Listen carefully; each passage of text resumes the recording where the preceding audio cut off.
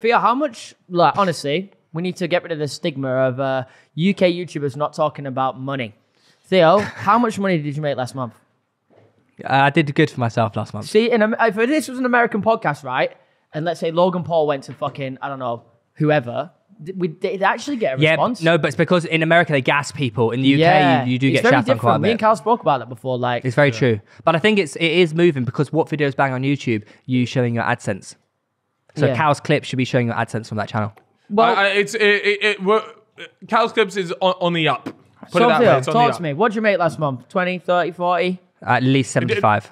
At least seventy five. See, there we go. You Happy days. 75 bucks a month? Absolutely. Yeah, I definitely that's did that. Baker stuff. I definitely did that.